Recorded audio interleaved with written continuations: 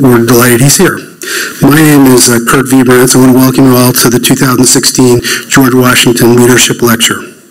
I'm delighted to be here for this program and delighted to have you all here. I'd like to first thank Mary Beth Borthwick, who is uh, at once class of USC 1973 and also the Vice Regent for California of the Mount Vernon Ladies Association. And Mary Beth and her husband Hal very graciously funded this series. And I'm really grateful for their support.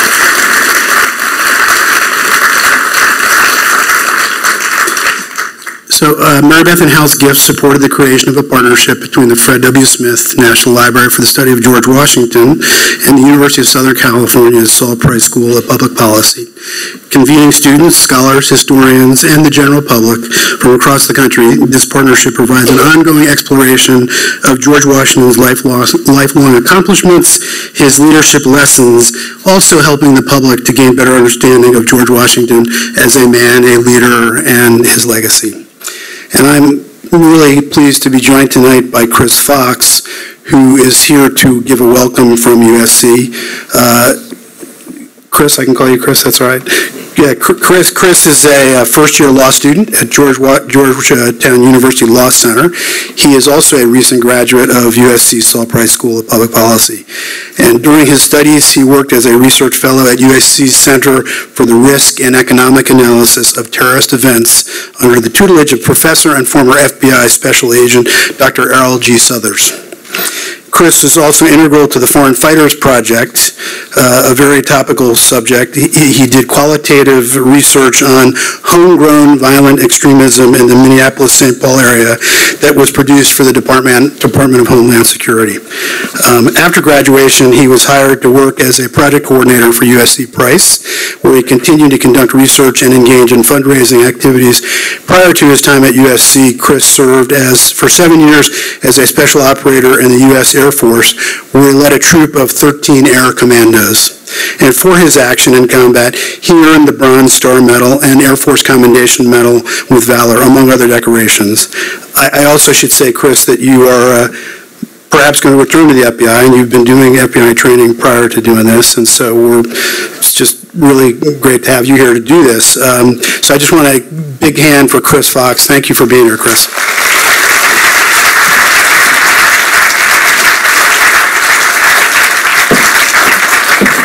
Thank you for that wonderful introduction, Curt. And good evening, everyone. Um, as a proud alumnus of the USC Sol Price School of Public Policy, it is my pleasure to welcome all of you to tonight's lecture. In 2013, the USC Price School of Public Policy and the Fred W. Smith National Library partnered to launch the George Washington Leadership Lecture Series. These events explore President Washington's lifelong accomplishments, providing a better understanding of him as a person, as well as his remarkable leadership professional achievements, and lasting legacy. This collaboration, again, we'll mention, was made possible by the generous support of Mary Beth and William Borthwick.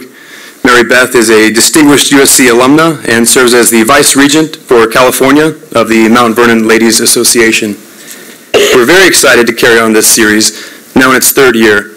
We hold one lecture on each coast. And so on January 25th, we'll host the Los Angeles lecture at the USC campus featuring NPR correspondent Nina Totenberg. I invite you all to attend that event as well, and it gives you a good reason to take a break from the cold weather. Some of you may not be familiar with the USC Price School and the work that we do, so I'll tell you a little bit about it. That our mission is to improve the quality of life for people and their communities all around the world. Established more than 80 years ago, we're one of the oldest public affairs schools nationwide, and today we're ranked fourth according to U.S. News and World Report as of this year. USC Price is a truly interdisciplinary school with academic programs in the fields of public administration, nonprofit leadership, health policy and management, public policy, and urban planning, and now real estate development. We're also the proud home to the ROTC program at USC and it's the largest continually operating ROTC program in the country. It never left. In weaving together these diverse disciplines and reaching across the public, private, and nonprofit sectors, the Price School is uniquely positioned to address head-on society's most pressing challenges. In many ways, George Washington's work aligns closely with that of the Price School. He was a government leader, a military leader, a surveyor, a city planner of Washington, D.C., a real estate developer in Ohio, and an innovator in disease prevention, wound care, and nutrition at Valley Forge. Together with the Fred W. Smith National Library, we look forward to advancing the study of George Washington and promoting the values he embraced, including lessons in leadership, which is the focus of tonight's talk. Washington himself said that one of our primary objectives as a country should be the education of our youth in the science of government. He asked, in a republic, what species of knowledge can be equally important, and what duty more pressing than communicating it to those who are to be the future guardians of the liberties of this country? This evening, we have the privilege of learning about these topics from the expertise of Dr. Douglas Bradburn and FBI Director James Comey. We look forward to a great discussion. Thank you.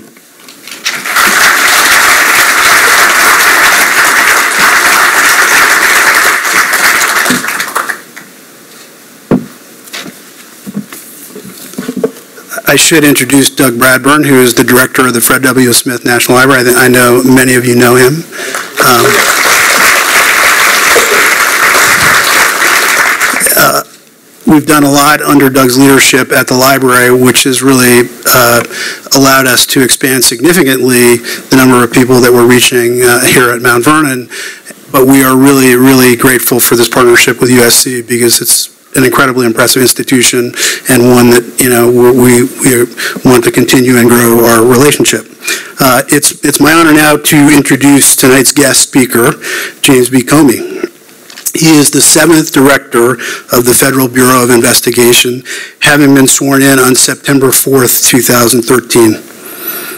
The FBI's motto is fidelity, bravery, and integrity, and describes the 36,000 men and women that serve our country under Director Comey's leadership. Those words, fidelity, bravery, and integrity, can also be used to describe the first President of the United States and the man we and the Sol Price School honor with this lecture series. Uh, Director Comey is a graduate of the College of William and Mary and of the University of Chicago Law School. After graduating from law school, he served as assistant to the United States Attorney for both the Southern District of New York and the Eastern District of Virginia. And uh, he was for a time in private practice as well in Richmond, and he was actually an adjunct professor at the University of Richmond School of Law. He uh, returned to New York to be the U.S. Attorney for the state's Southern District. In 2003, he was named Deputy Attorney General for the Department of Justice in the United States. And two years later, he left DOJ to serve as General Counsel and Senior Vice President at Lockheed Martin. In 2010, Director Comey joined Bridgewater Associates, a Connecticut-based investment fund, as its General Counsel. Tonight, Director Comey will talk about leadership lessons he has learned on his pathway to becoming the FBI Director, as well as particular style of leading our nation's top law enforcement agency. And I know that he will also try into some parallels from what he's learned about General Washington himself. Uh, And uh, following his uh, lecture, we'll have the opportunity, you will, to address questions. Uh, You, I think, have had the opportunity to get some cards as you came in. If you uh, want to write those questions on the card, we'll collect them, and then we'll use those to, uh, to ask some questions at the end of his lecture. So with that, I just want to say thank you very much, Director Comey, for being here. It's really a privilege for us to have you here, and I have a big hand of applause, big round of applause.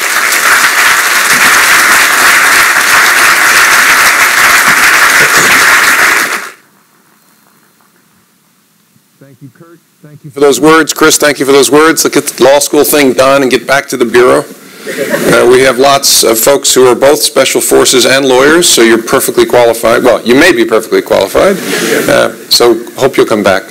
Uh, Thank you to Mount Vernon and to USC Price for asking me to come speak today. It's a little daunting, frankly, to be speaking about leadership here at the home of George Washington. I feel like he casts a much longer shadow, maybe not physically, since I'm 6'8", but much, much longer shadow in the question of leadership metaphorically than I do. And so I'm humbled by the opportunity to talk at his home about how I think about leadership, some of the things that I have tried to learn as a leader, and some of the things I've learned about George Washington, both before becoming a leader and that have confirmed some of the things that I think are important to leadership. I'd like to share those thoughts with you very, very briefly, and then I want to take your questions, which will be the fun part. So let me start by think, talking about leadership and tell you what I think the goal of all leaders is, and that is to help their people achieve their goals, to help their people be as good as they can possibly be, and by doing that, to make possible their dreams, their hopes, their objectives, to facilitate their people in being great. When people think about leadership in a whole lot of government and the private sector, I think they think and talk about it backwards. I think most places people talk about the same categories of leadership attributes that I think of, but do it in a different way than I do. Most people talk about skills, that is, what are the things you've learned to do? What are the jobs you've inherited? How did you do in those jobs? And then they talk next about your abilities. What are the things you do well, either by nature or by nurture. Good conceptual thinker, great under pressure, good communicator, great logical thinker, creative, imaginative, those kinds of capabilities.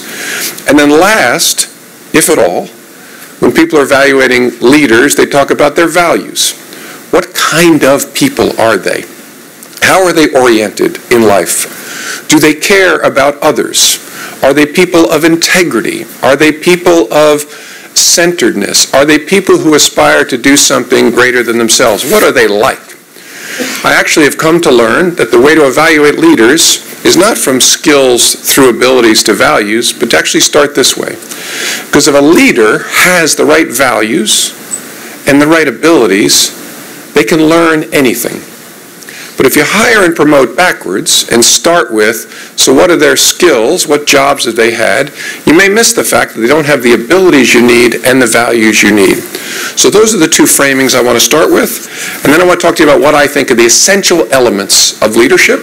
And you're going to hear me entirely in a combination of the values and abilities buckets. I'm not going to talk much about skills, because as I said, that's the least important thing in understanding capabilities, the potential of someone who might be a leader. I actually boil down the essential elements of a leader to two seemingly contradictory pairs of attributes kindness and toughness, confidence and humility. They seem like they're contradictory, but if you look at the great leaders of this nation, starting with George Washington, you see that combination that seems like a contradiction, but is actually a source of tremendous strength. So let's start with what I know about George Washington. I'm sure I'm surrounded by people who know more about George Washington than I. There's no doubt that George Washington was tough. There's no doubt that George Washington held his people accountable, often very, very severely, when measured against high standards. But George Washington was also kind and understood how to inspire in his people almost a love and an affection for himself and for their mission. George Washington was somehow able to, as one of his biographers said, Richard Brookhiser, said he would use consistently the same phrase. It would be, my brave men. And he would use it in all different kinds of contexts. My brave fellows, he would say. My brave fellows, I ask you to enlist, to re-enlist. My brave fellows, fight. As Brookhiser said, Washington was getting them to be brave by telling them that they were brave, by telling them that he cared deeply about them because they already embodied this essential element. Washington's toughness and kindness, I think, made him the model for leadership, but so did that combination, that second combination of humility and confidence. The best leaders are people who are comfortable enough in their own skin to surround themselves with great talent and be open to learning from that talent. They're people who are comfortable enough in their own skin to listen well, which is something that insecure people struggle with mightily. When you think about Washington, think about the talent he surrounded himself with. Just, I'm not going to name drop on you, but let me drop Adams, Jefferson, Hamilton, and Madison, among others. We're talking about brilliant and well read people of extraordinary accomplishment and not themselves without ego. He surrounded himself with this kind of talent as the first president of the United States because he understood and had the confidence to get better as a result of their presence. But it required a centeredness, a sense of self that allowed him to be comfortable enough to listen to these people and to learn from them. But at bottom, it also required enough confidence to insist that whatever the advice, the decision was his.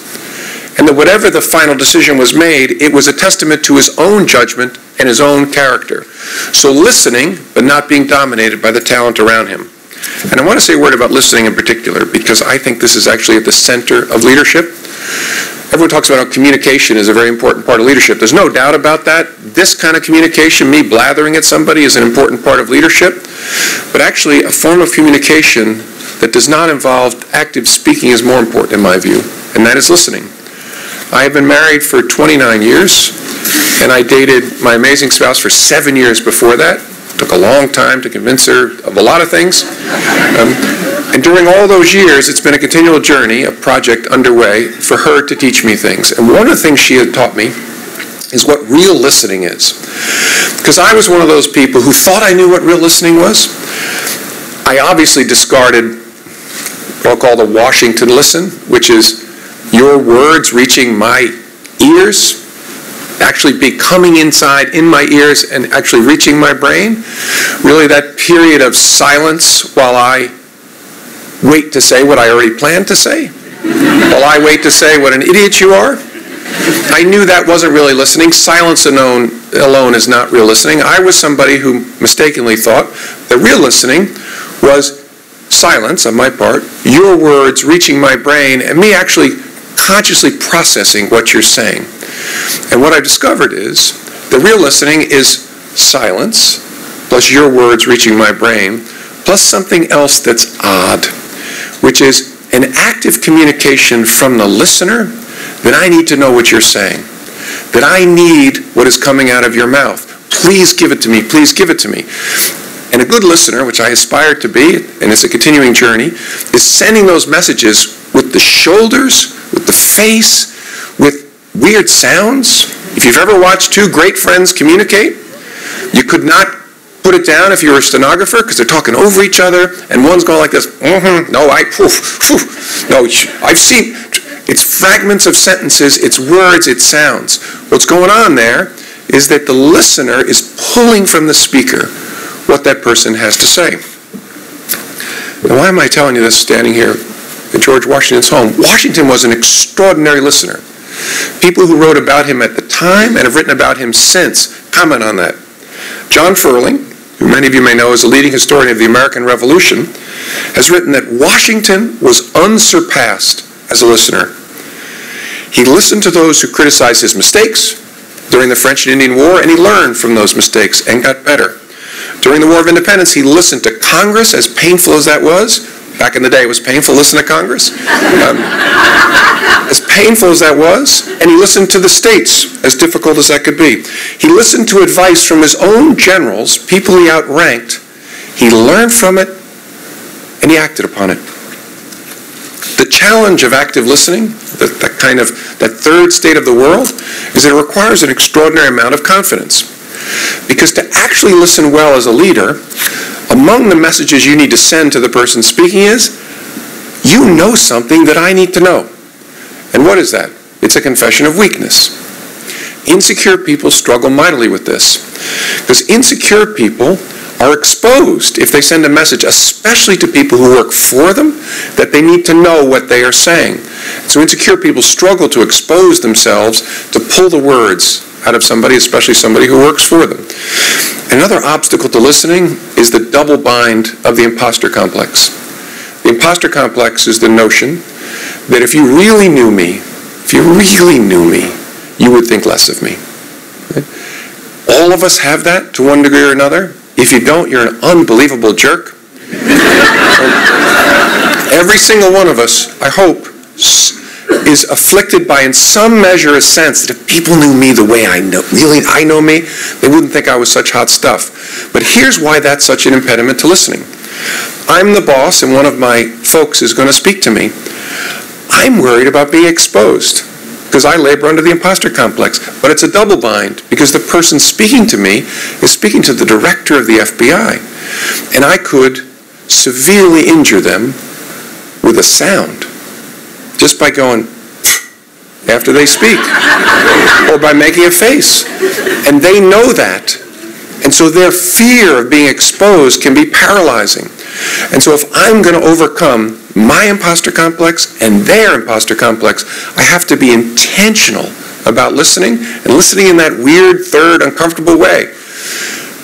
When people come to brief me, I'm giving away my secrets here, when people come to brief me, I turn in my chair and always face the person who's speaking, and I open my body, and I don't sit with my arms folded, I open my body, and I look at them and I work to, you're okay, you're going to be okay, you're going to be okay, to get them to tell me what they need to tell me.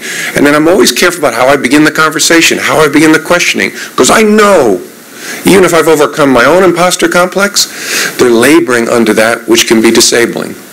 Listening which George Washington did extraordinarily well, is at the heart of being an effective leader and is made possible by that combination of confidence and humility. Another attribute, another capability slash value that I think is at the center of good leadership is judgment. And what I mean by judgment is this not intelligence. Intelligence is the ability to solve a riddle to nail an equation, to master a set of facts. It's actually fairly common in nature. Judgment is the ability to take that answer and orbit it and see it through the eyes of others, to see it in different places in time, to move it around. People who solve problems can be very, very bright. They have high IQ. But being smart is a very different thing than being bright. Being smart is having the judgment to see things as they might be seen in different places and times. Where does it come from? I think mostly the way you were raised. It also comes from making mistakes and learning from them, having the humility to realize you made a mistake and you did this thing that angered people. That is how you protect and nurture judgment. And this is something that stands out about George Washington, is how often his peers commented on just that aspect of his leadership, his extraordinary judgment. John Marshall, the nation's first Chief Justice, wrote this in his own biography of Washington More solid than brilliant, judgment rather than genius constituted the most prominent feature of his character. What he's saying, to use my words, Washington, it wasn't about brightness. He was extraordinarily smart. And Thomas Jefferson didn't always love George Washington, didn't always have the most positive things to say about him, said this after George Washington's death. Quote, Perhaps the strongest feature in his character was prudence, never acting until every circumstance, every consideration was maturely weighed, refraining if he saw a doubt, but when once decided, going through with his purpose, whatever obstacles imposed. Judgment was at the core of his leadership and all great leadership. And I'll give you one other attribute that I'll couch in terms that Washington never would have used. The words emotional intelligence or EQ would never have escaped his lips or any of his peers. But I believe the concept that we now call emotional intelligence is a critical capability of all successful leaders. And what we mean by emotional intelligence is an ability, close to judgment, to circle a room and see how others might be experiencing you and how others might be experiencing the world. And through that insight, to be able to connect to them, to communicate to them in effective ways. It's a huge part natural, and it's one of those cruel gifts that is given in disproportionate measure, in my experience, to women at birth.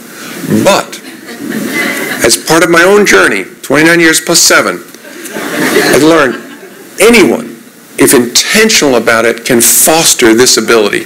This ability to understand other people and to connect to them in an effective way. Now, it starts with understanding yourself and your own emotions. And you know Washington controlled his fiery temper in extraordinary ways.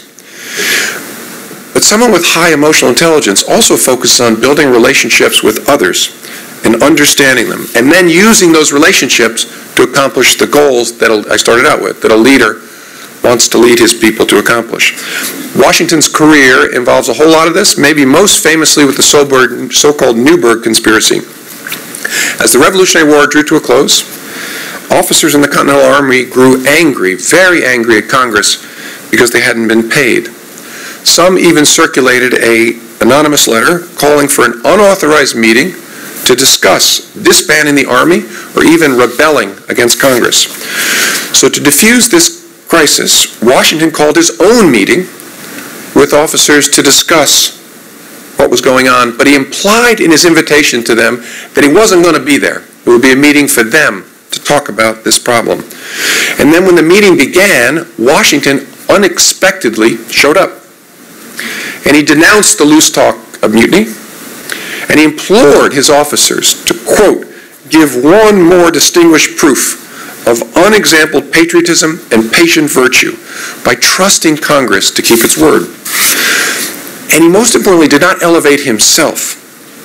Instead, what he did, he connected to his men and emphasized their personal bond. And he said this, and I want to quote the entire paragraph.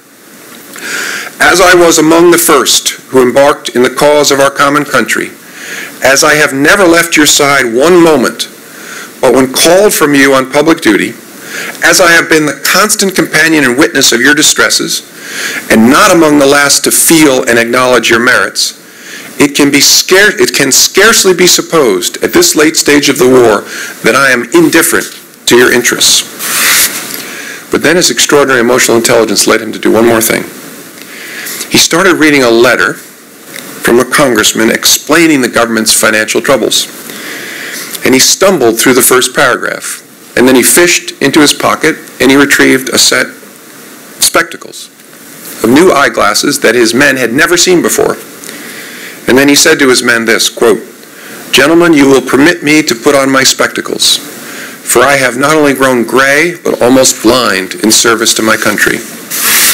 That touch of vulnerability from their otherwise stoic commander overwhelmed his men, as Washington knew it would, overwhelmed them emotionally, and some of them began to weep as they looked upon this aging man who had given so much to them and to this new nation. Washington finished the letter and left without saying another word. And after he left, those officers unanimously abandoned the idea of rebellion. So did Washington engage in a, a bit of theater here? Of course. But it was rooted in truth. It was rooted in his understanding of those great men and how he might touch them and motivate them. It was rooted in his own emotional intelligence, which helped save the American Revolution from collapsing on the very brink of triumph. So that's how I think about the attributes, the combination of abilities and values that mark a great leader. But I should hasten to add here a word of caution. Leadership is not for everyone. I've worked many places that made the classic mistake of saying, you are the greatest rocket scientist in our company. Therefore, you will be an extraordinary leader of other rocket scientists. It is almost never the case that the world-class doer of anything is a world-class coach of a group of people trying to do that same thing. You can search for your own examples. I follow basketball, and so I've tried to come up with examples of people who were Hall of Fame players and Hall of Fame coaches. One of them is from Southern California, another school in John Wooden, so I don't want to, I don't want to dwell on that here today.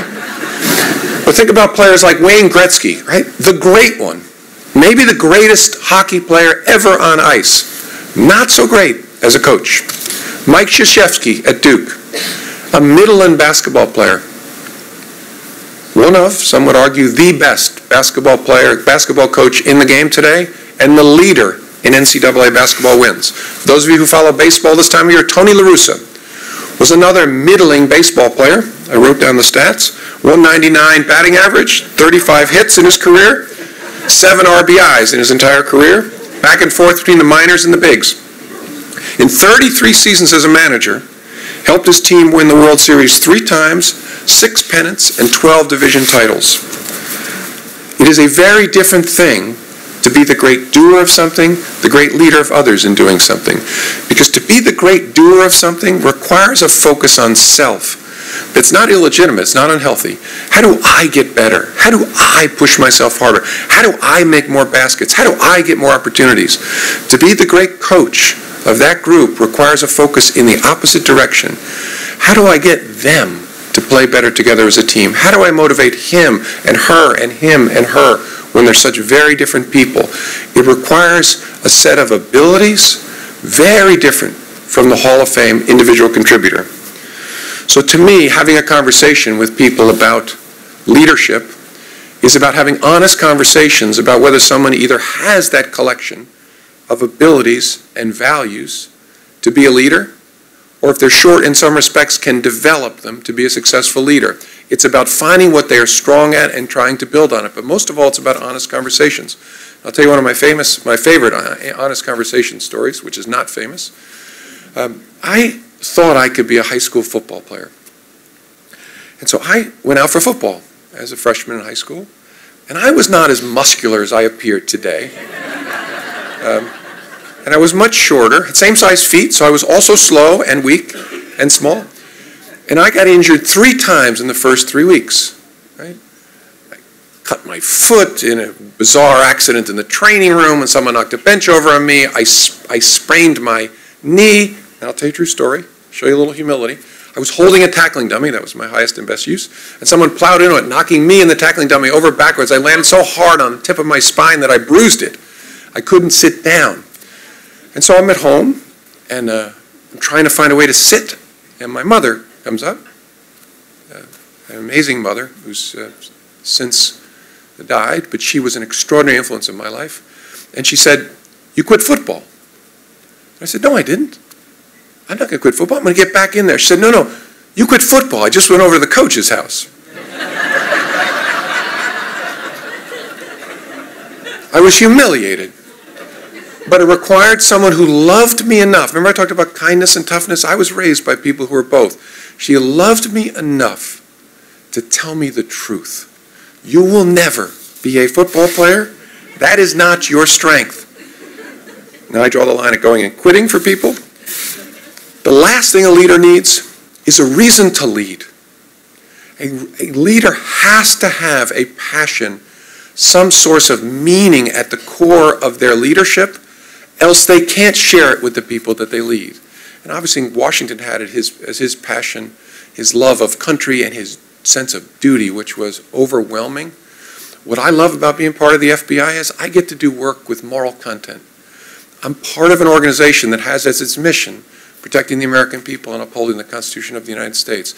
That for me is a source of meaning all day, every day.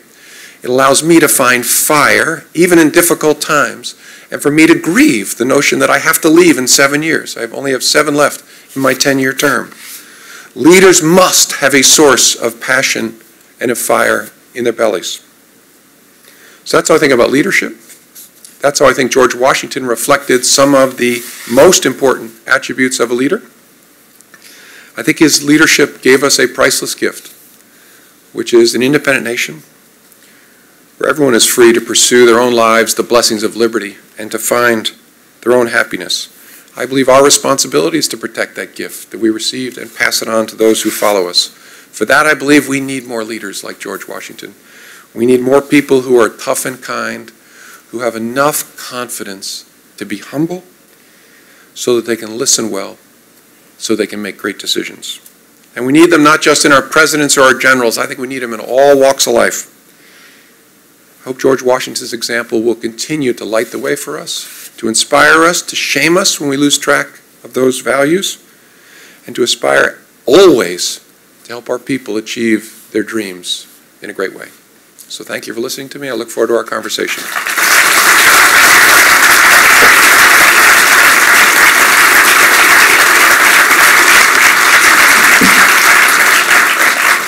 Thank you very much, Director Comey. Um, questions from the audience. Uh, can you actually tell us about, I mean, you, you effectively retired from the public sector and went to Lockheed Martin, and then you went to work for Bridgewater. Uh, and you mentioned earlier the reason to lead, and I can understand completely how you would have decided that this was the highest calling.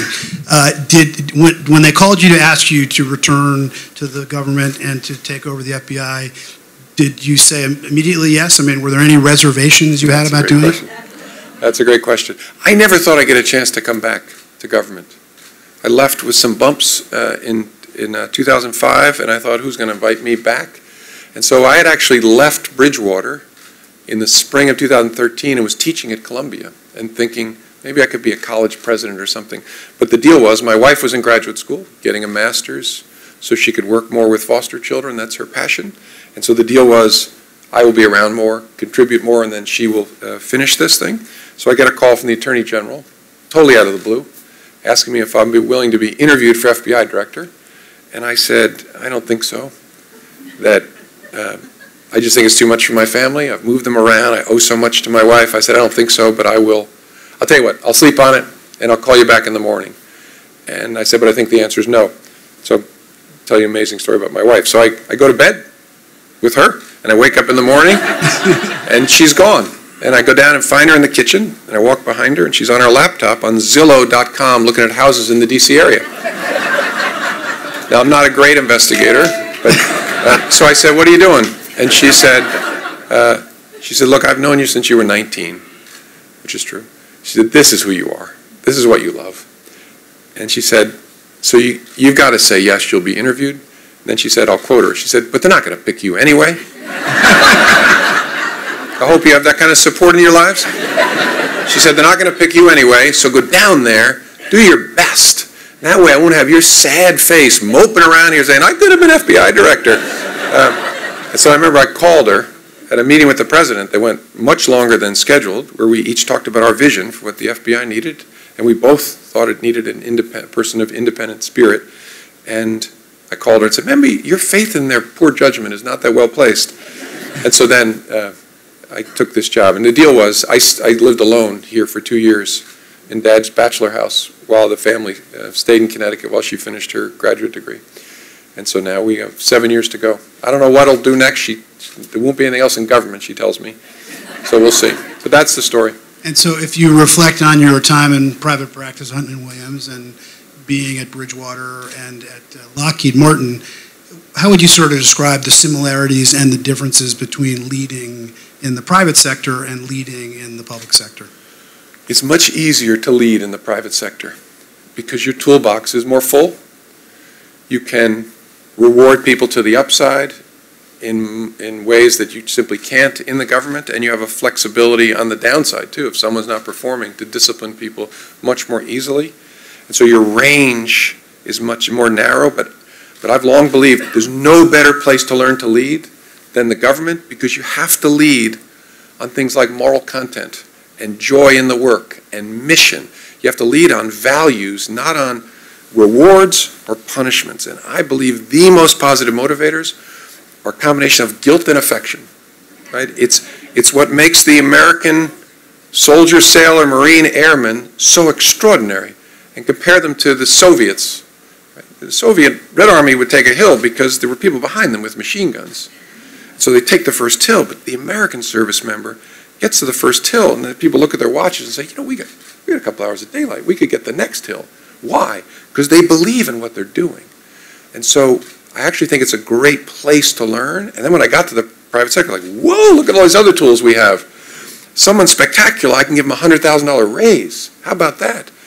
But at its core, even in the private sector, it's people aren't in it for the money. And if they are, they're actually not the kind of people that you want. So that's probably the biggest difference between the two.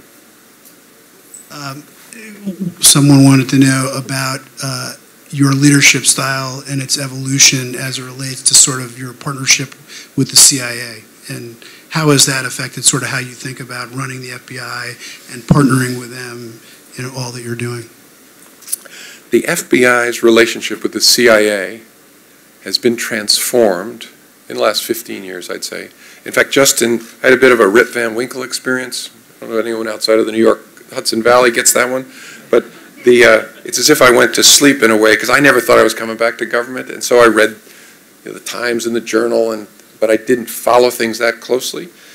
And to come back after eight years and see, for example, that the number two person in the FBI's National Security Branch is a CIA officer who sits at my table every morning, is in all my most important meetings. It's an awesome penetration by the CIA. But they are but that is symbolic, but also reflects a reality. So there's been a, a knitting together.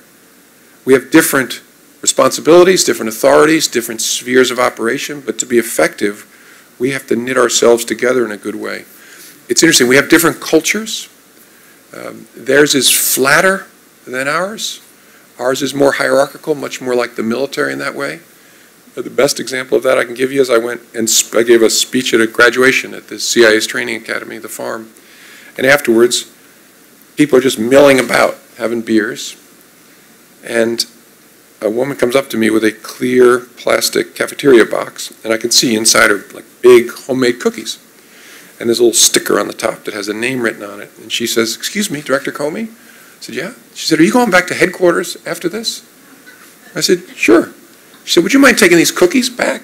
Um, I baked them for a friend of mine who works at FBI headquarters. And so I look at the name. I look at the name and I said, "I'm sorry, I don't, I don't know her." She said, "Oh, your secretary will know her. You'll be able to find her." I said, "Okay." So I, so I took the cookies, got in the car, we went to the FBI plane, I got on the plane, I flew back. Now, I think maybe they were trying to recruit me or something, but it was uh, an example of flatness, because no one in the FBI would approach the director of the CIA, and I don't think she was a wingnut.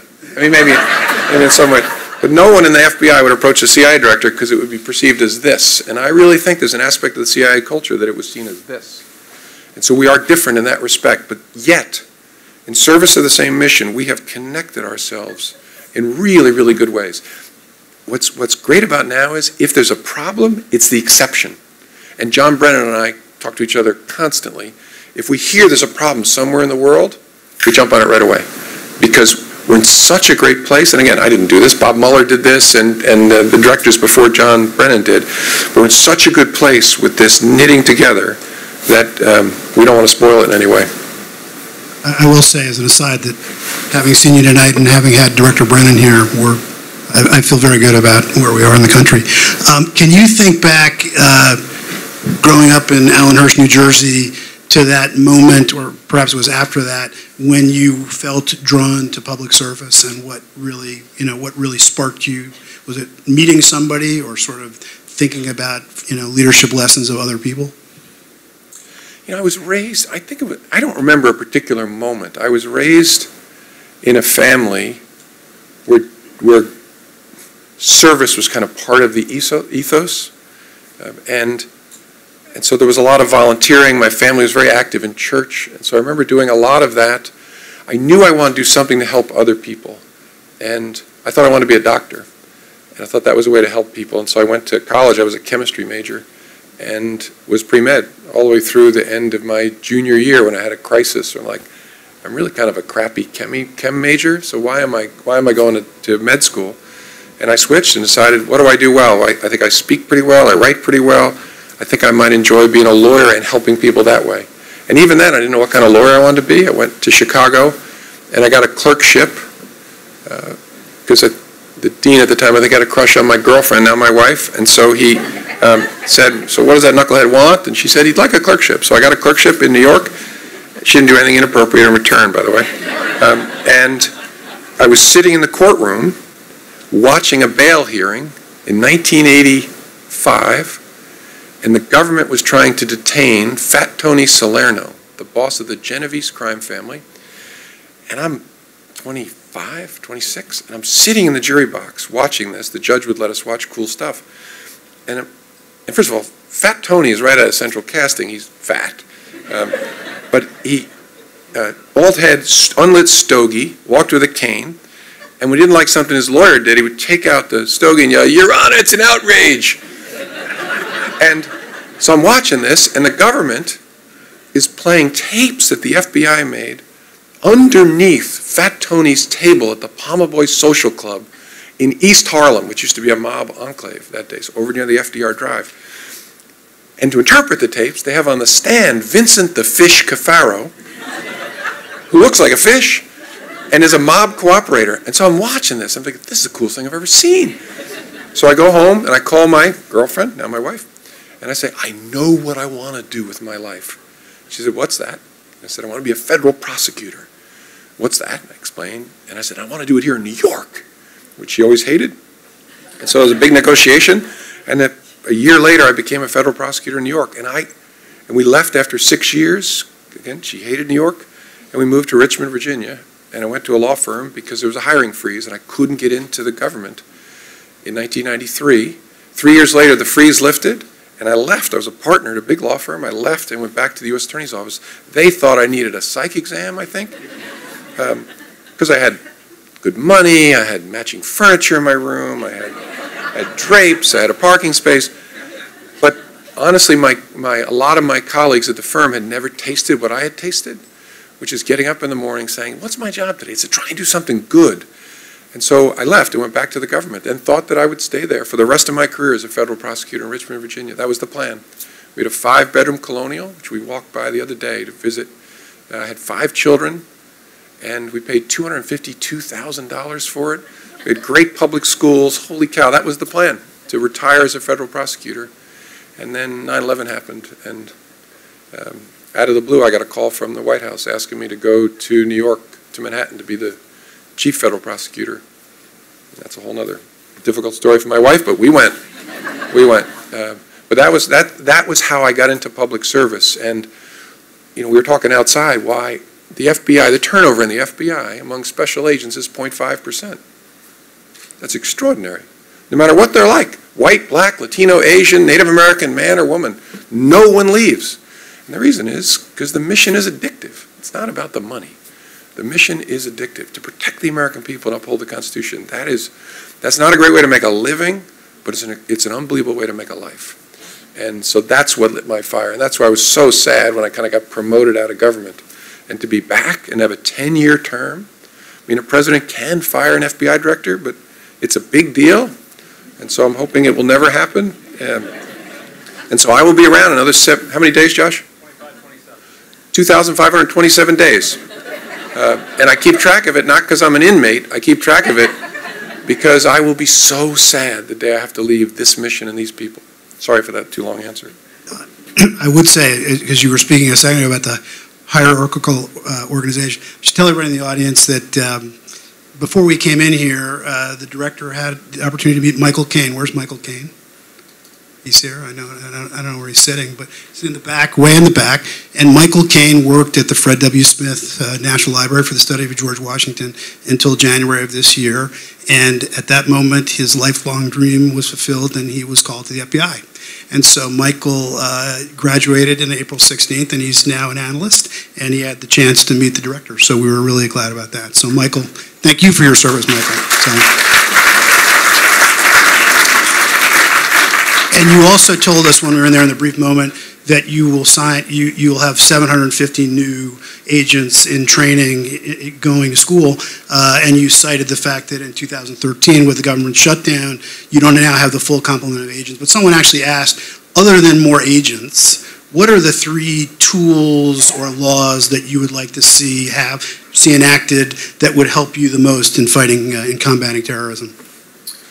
The biggest challenge we face today is the problem we call going dark, which is our increasing inability in terrorism cases and in our criminal work and in our counterintelligence work to get warrants complied with. That is, uh, when we encounter a device that's locked and we can't unlock it even with a search warrant, or we encounter communications, voice or text or data that are strongly encrypted and we can't decrypt it. And so the judge's order is, is uh, fruitless. We can intercept the actual, the, the ones and zeros, but we can't decrypt it. And that is, that's the hardest problem I've seen in government because it involves a collision of values. Hope everybody in this room cares about the same things. I know I do. Every one of us should care about safety and security on the internet. I'm an enormous fan of encryption. I think more people should use it. More people should be careful about their most important documents if certain parts of the government would better encrypt their information, it'd be harder for nation states to steal it and exploit it. It makes the FBI's job so much easier if people use encryption, as it does if, as if they, when they use their alarm systems at home too. The second thing I hope everybody here cares about is public safety. The challenge we face is those are crashing into each other in the form of ubiquitous strong encryption. And that's mostly a post-Snowden phenomenon. The sophisticated actors always had access to encryption, either to wrap data in or, or data in motion to encrypt. What's happened in the last three years is that's become the default. And there's a lot to love about that. The challenge for us is it's a new way to live for all of us as Americans. The, the fundamental bargain of this country is that absolute privacy does not exist. That your stuff is private unless the people of the United States need to see it. And then, with the appropriate predication and oversight, they can see it. Whether that's your sock drawer, or your safe deposit box, or your car, or even the contents of your mind. You can be compelled to say what you saw. You can be compelled to talk about what you talked about with your lawyer in, in appropriate, rare circumstances. Where we're headed now, which is what makes it so hard, large portions of our life are becoming absolutely private. As the devices we use, which are awesome, uh, become default encrypted. And so my view is you should never drift to a fundamental change in the way you live as a country. And so I just think we need to talk about it. I don't think it's the Bureau's job to say what we should do, but I think it's the Bureau's job to shout from the rooftops the tools you're counting on us to use, harder and harder to have them be effective very, very hard to figure out what to do about it. All kinds of complications about innovation, about technology, about international relations, all kinds of problems. It's the hairiest problem I've seen in government, but we have to stare at it and have an adult conversation about, so what could we do to optimize both of those values? And it's difficult because it's not susceptible to a tweet. It doesn't fit on a bumper sticker. It requires people to not demonize each other, but to sit down and say, okay, here's what I think, what do you think, and really talk about something. Whether our democracy is mature enough, definitely not mature enough this year to have it. I'm hoping maybe next year we can have that conversation. But we need to have it because we're drifting to a place. I don't want anyone to start looking at us and say, well, how come you didn't tell anybody that this thing was going on? So I'm telling people. And again, I'm not here to supply the answer, but I'm here to tell people serious people who care about how we live need to stare at this. At the end of the day, we may say, you know what? Absolute privacy brings us enough benefits that the costs associated with it are costs we should bear. But that should be a decision made by the people of the United States, not by the government, not by tech companies. Our job is public safety, theirs is innovation and selling you stuff. You should decide how you want to live, uh, and we should help educate that conversation. That is the number one tool problem I have. That's actually not about our authorities. It's about whether our authorities are effective.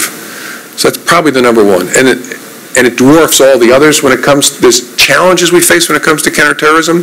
Seeing the threat is our biggest challenge, uh, both seeing it in that sense and where people are radicalizing in the privacy of their own homes, seeing it there, and then evaluating people, even those we come into contact with our job is not just to find needles in a haystack. Our job is to find which pieces of hay might become a needle. And we aspire to be perfect. We really, really do. It's hard to be perfect. Very hard. But that's our goal, to be perfect. And we hold ourselves to that standard, which is why uh, your former employee now works in one of the hardest parts of the FBI because all day, every day, we try to be perfect. I probably should stop there.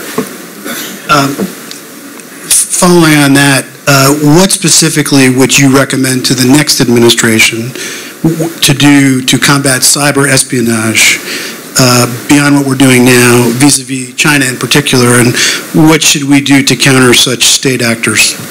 I I might add also at the bottom, it says, uh, "Thank you for your service and for this lecture." So, That's all the time we have, thank you. Uh, uh, That's a really hard question. Um, and you have to think about it differently with different state actors.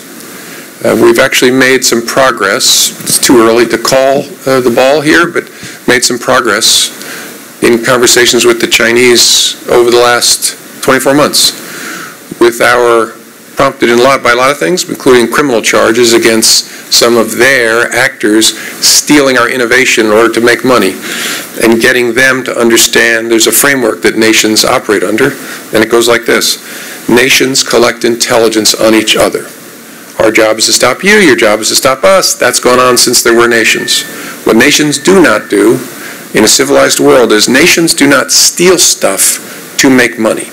They don't steal paint formulas. They don't steal designs for wind turbines so that companies in their country can make money. This is crime. This is statecraft. And getting to a place where that framework is understood with a, an enormous and great nation like China is an important accomplishment. Now, obviously, there's a lot more work to do to see how that's borne out over time, but that was a question of talking and doing to send messages as we, as a community of nations, grope towards a set of norms. The reason I said you got to talk about different nations, there are other nations that are not, they're just different. North Korea, for example, where those kinds of conversations are not going to be productive. Uh, and so your toolbox may be different. You may be looking at different tools. But maybe the most important thing we can do is to figure out how to communicate better across the barrier between public and private in this country. The majority of companies in the United States that are the subject of cyber intrusions do not call us. And that's a terrible place to be. So we have to get to a place where that boundary between us is a boundary, but it has to become semi-permeable, consistent with law and policy, so we can talk to each other. And so we can incentivize people to tell us what's happening. Because you're kidding yourself if you think it'll go away if I just remediate the problem. Because they're going to come back to you and they're going to victimize the rest of your neighborhood as well. And so we're making progress there, but that's a, we talk about developing a relationship between FBI and CIA. Developing trust with the private sector that we will not re-victimize you, that we will treat you like the victims that you are. We will respect you. We'll have honest conversations with you. We'll tell you what we're going to do with your information so you can make a cost-benefit analysis of whether you want to work with us. We had to do that similar thing between FBI and CIA. Long suspicion between our organizations, especially on the intelligence side, pure intelligence side, as to what the criminal side people would do with their information.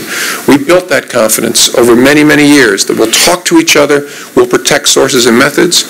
We have to get to a similar place with the private sector because one of the great things about our country is the entire infrastructure is in private hands. That's a great thing, except when the bad guys are in the infrastructure and the people who own that infrastructure don't want to talk to us about what they see, so we can't help stop them. So that's our biggest challenge. Progress is being made, but it's not nearly good enough uh, because it's a, we've connected our entire lives to the internet, so, which is a great thing, but that means everything the FBI is responsible for is coming at us through that digital vector, whether it's protecting kids, fighting fraud, fighting corruption, fighting espionage, or fighting terrorism. And that's, the, uh, that's a glimpse at our future, by the way. Our terrorist enemies have not yet figured out how they might use the internet to do us physical harm. Uh, some poking around at the edges, but as hard as we've made it for them to get into this country physically, they can get in as a photon at 186,000 miles per second, the speed of light, and potentially do grievous harm in lots of different ways that I'm sure you can imagine. That threat has not yet manifested itself, but it's one the FBI worries about all the time because logic would tell us it has to come. It has to come. Enjoy your evening.